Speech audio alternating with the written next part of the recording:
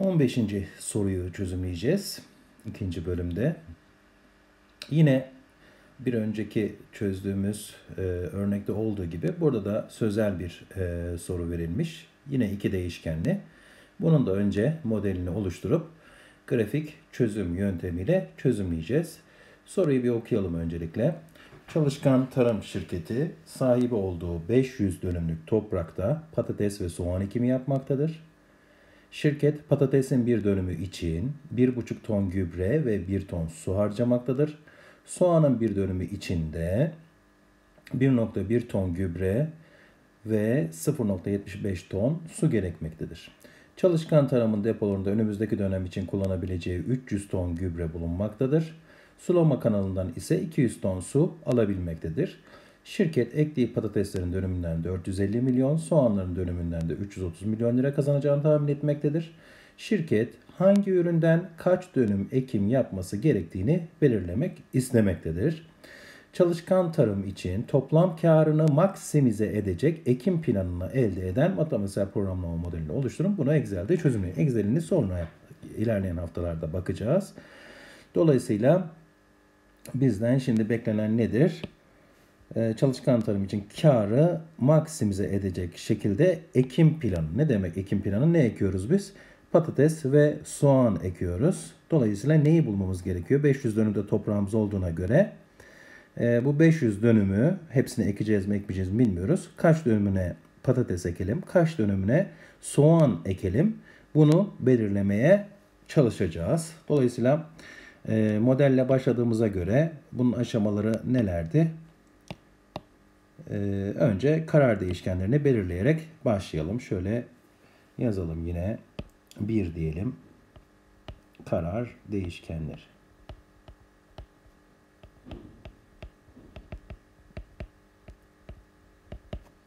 Neye karar verilecek e, bu soruda? Kaç dönüme patates ekilecek, kaç dönüme de soğan ekilecek. Buna karar e, vereceğiz. Bunu bulmaya çalışıyoruz. Dolayısıyla iki tane karar değişkenimiz var. Bunları x1 ve x2 ile gösterelim yine. Ee, önce soruda patates mi gelmiş? Patates denilmiş. Tamam o zaman ilk değişken kaç dönüme patates ekilecek onu göstersin. Kaç dönüm dönüme patates ekileceğini gösterir. x1 kaç dönüm patates ekeceğimizi x1 gösterecek. X2 de kaç dönüme soğan ekileceğini göstersin diyoruz. Bundan sonra ikinci aşamamız nedir? Amaç fonksiyonumuzdur. Peki amacımız neymiş? Ee, amacımız karı maksimize etmek. Dolayısıyla amaç fonksiyonumuzun tipi maksimizasyon olacak. Onu yazalım. Amaç fonksiyonu maksimizasyon olacak. Yine bu fonksiyonda hangi karar değişkenleri yer alacak? İki tane karar değişkenimiz var. x1 ve x2. Bizim şimdi amacımız nedir? Bunların katsayılarını belirleyip araya artıyı koymak. Peki katsayılar ne olacak? Her bir dönüm bize ne kadar kazandırıyor? Buna bakacak olursak problemin e, neresinde verilmiş? Şu cümlede gördüğünüz gibi e, şirket ektiği patateslerin dönümünden 450 milyon, soğanların dönümünden de 330 milyon kazanıyormuş. Dolayısıyla patates yani X1'in katsayısı 450, X2'nin katsayısı da 330 olarak alabilir. Milyon yazmaya gerek yok. 450 ve 330 şeklinde katsayılarımı yazıp araya artıyı koyunca amaç fonksiyonu ifade edilmiş oluyor. 3 nedir? Kısıtlar. Ne tür kısıtları var problemin? Şimdi bir kere şuradan başlayalım. Arazimiz 500 dönüm. 500 dönümden daha fazla arazi kullanamayız. Dolayısıyla bunu bir not alalım. 500 dönüm arazi. Arazi kısıtımız var. 500 dönüm olarak.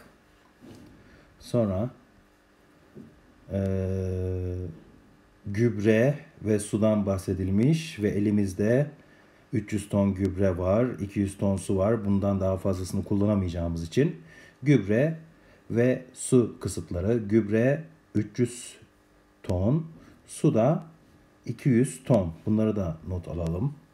Gübre 300 ton, su 200 ton. Şöyle bir bakalım başka kısıt kaldı mı? Negatif olmama kısıtı dışında.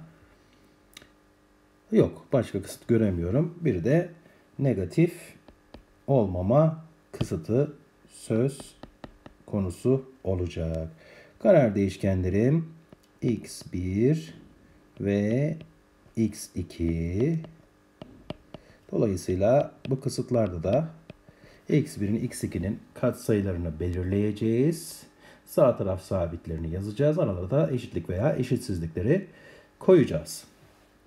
Peki şimdi neyle başladık? Arazi. 500 dönüm. 500 dönümden daha fazla kullanamam. O zaman bu kısıtın sağ taraf sabiti 500 dönüm. Bundan daha fazla kullanamam. Sol tarafta ne bulmam lazım? Kaç dönüm kullandım ben araziyi? X1 ve X2 kaç dönüme sırasıyla patates ve soğan ekeceğimi gösterdiğine göre X1 ile X2'nin toplamı benim toplam kaç dönüme ekim yaptığımı gösterir. Sol taraf bunu verdi. Neyi geçmemiz lazım? 500 dönümü dolayısıyla küçük eşit. İstersek bunların katsayılarını 1 ve 1 olarak da yazabiliriz. Yazmasak da zaten aynı şey. Peki gübre ne kadar var elimizde? 300 ton. Sağ taraf sabiti 300 ton. 300 tondan daha fazla gübre kullanamam. Peki ben bir dönüm patates ektiğimde yani x1'in katsayısı ne olacak? Bir dönüm e, patates ektiğimde ne kadar harcıyorum? Hemen probleme dönüyorum. Bakıyorum. Patatesin bir dönümü için bir buçuk ton gübre denilmiş. Dolayısıyla x1'in katsayısı bir buçuk gübrede.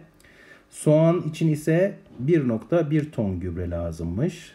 O zaman x2'nin katsayısı da 1.1. Dolayısıyla katsayılarım sırasıyla 1.5 ve 1.1 olacak. 1.5 ve 1.1 gübre için araya artıyı koydum. Yine 300 tondan daha fazla kullanamayacağım için sol tarafta da kullandığım toplam gübre miktarını elde edeceğim için bu da bir küçük eşit kısıtı oldu. Su 200 ton var elimizde. Bu sağ taraf sabitimiz. Hemen bakalım katsayılarımız ne olacak x1 ve x2 için. E, patates x1 ne kadar su harcıyor? Dönümde 1 ton. Soğan ise x2 ise 0.75 ton. O zaman katsayılarım sırasıyla 1 ve 0.75. Kim için? Su için. 1 ve 0 75. Araya artıyı koydum. Yine bu da 200 tondan az harcayacağım için küçük eşit kısıtı. Son olarak negatif olmama kısıtı x1 ve x2 büyük eşit 0 dediğimiz zaman problemi sözel olarak verilen problemi doğrusal programlama modeli olarak ifade etmiş oldum. Bu aşamadan sonra iki değişkenli olduğu için grafik çözümünü yapacağım. Yine grafik çözümde ne yapıyoruz? Kısıtlarla başlıyoruz. 3 kısıtımız. İlk kısıtımızda, ikinci kısıtımızda, üçüncü kısıtımızda x1'e 0 verince x2'nin alacağı değerleri bularak başlayalım. Birinci kısıt x1'e 0 verirseniz x2 500 olur. İkinci kısıtta ne yapacağım? Ee, x1 0 olunca 300'ü 1.1'e böleceğim. Böleyim. 272.72 yapıyor. Üçüncü kısıtta da e, x1'e 0 verince 200'ü 0.75'e bölelim bakalım. 200 bölü 0.75 o da 266.67 yapıyor. Şimdi ikinci noktaları bulmak için bu sefer x2'ye 0 verirsem e, arazi kısıtında 500 dönüme patates ekebilirim. Dolayısıyla 500'e 0 e, ne yapıyorum? 300 ton gübrenin tamamını patates ekimi için kullanırsam 300'ü bir buçuğa böleyim. 200 yapıyor. 200'e 0 ve e, suyun tamamını patates ekimine harcarsam katsayısı 1 olduğu için 200 bölü 1'den yine 200'e 0'ı elde ediyorum. Peki. Kısıtlarımın geçeceği noktalar belirlendi. Hepsi küçük eşit kısıtı. Bu 11. soruya çok benziyor bu anlamda. En büyük değerde 500 olduğuna göre 504'e bölünür mü? 250, 375, 125 evet bölünür. Dolayısıyla şuraya ben yatay ve dikey eksenlerimi çizeyim.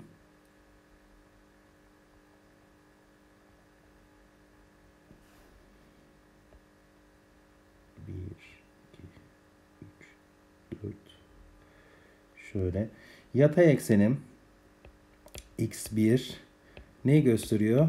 Kaç dönüme patates ekeceğimi gösteriyor. Dikey eksenim x2 kaç dönüme soğan ekeceğimi gösteriyor. Şöyle 125, 250, 375 ve 500 ölçeklememi yaptım. Dikey eksende de yapayım.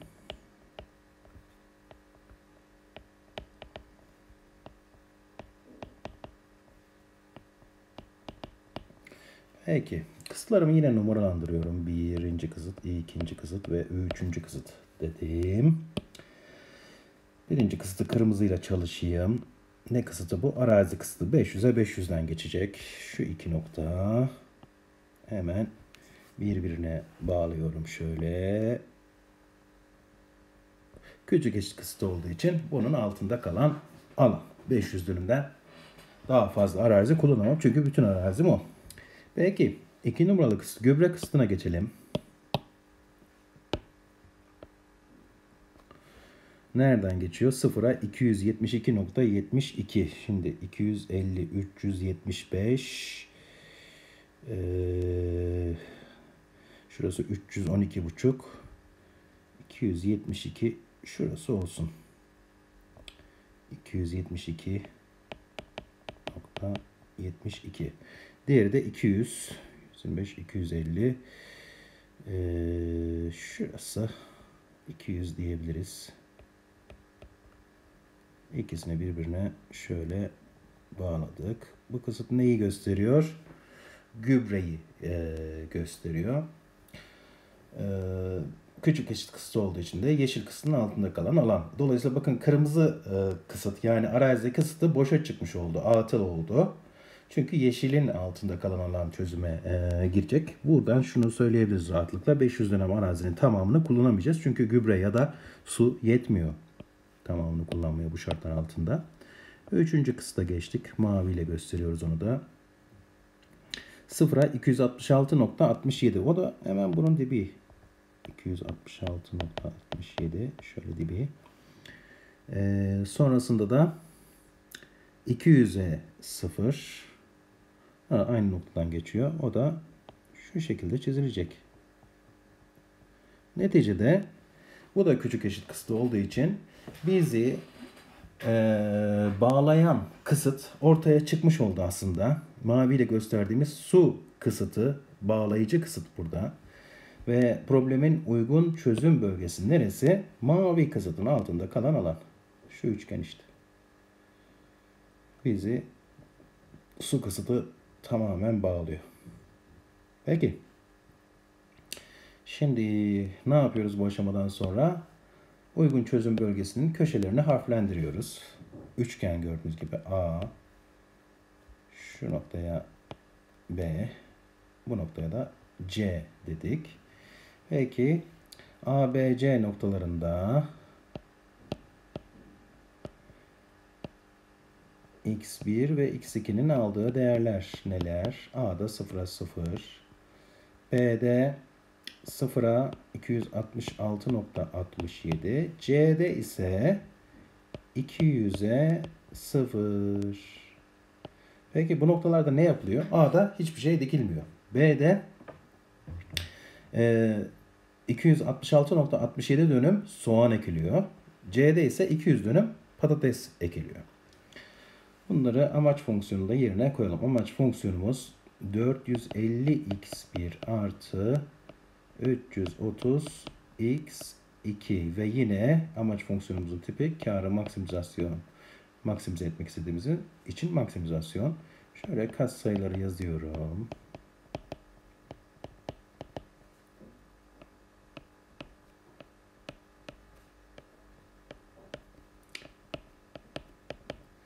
Peki şimdi yerine koyalım. Karar değişkenlerimizi x1, x2'yi 0, 0, 0, burası 0, burası 266.67 olacak.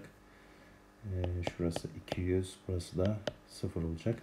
Şunları bir hesaplayalım. 330 çarpı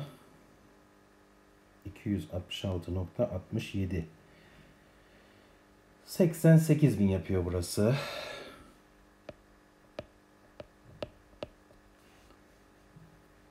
Ve 450 çarpı 200 de 90 bin yapıyor. Peki. Amaç fonksiyonumuzun tipine baktık. Maksimizasyon. O zaman bu değerlerin içerisinde en büyük değer nedir? Ee, ona bakacağız. Tabii ki en büyük değer 90 bin olduğuna göre problemin optimal çözümü C noktasında C noktası bize optimal çözümü veriyor. Burada aslında iki kısıt birden var gördüğünüz gibi. Hem yeşil hem de mavi bu noktadan e, geçiyor. Bunun anlamı ne? Şu anlamı e, ne yapacağız? 200 dönüme patates ekeceğiz. Soğandan hiç ekmeyeceğiz. Ve 90 bin lira kar elde edeceğiz. Peki patate şey e, yeşil ve mavi kısıtlarımız yani arazi ve gübre kısıtlarımız bunların durumu ne? 200'ü x1'in yerine koyarsanız x2'nin yerine de 0 koyarsanız mesela ilk denklemde e, pardon e, ikinci ve üçüncü denklemler 200 dönüm kullanıyoruz. Zaten ilk kısıtın atıl kısıt olduğunu söyledik. 500 dönüm arazinin 200 dönümünü kullanıyoruz. Gübre kısıtında bakın 1,5 çarpı 200 derseniz 300 yapıyor. X2'nin değeri de 0 olduğuna göre yani soğan ekmediğimize göre 300 ton gübrenin tamamını harcadık. Yine su kısıtında X1'in yerine 200, X2'nin yerine 0 koyarsanız 200 ton suyun tamamını da yine patates ekimi için harcamış oluyoruz. Yani hem gübreyi hem de suyu sonuna kadar kullanıyoruz. C noktasında da bakın hem yeşil hem mavi kısıt yer almış. Dolayısıyla bunu da görmüş olduk. Bu problemi de grafik çözüm yöntemiyle çözümlemiş olduk.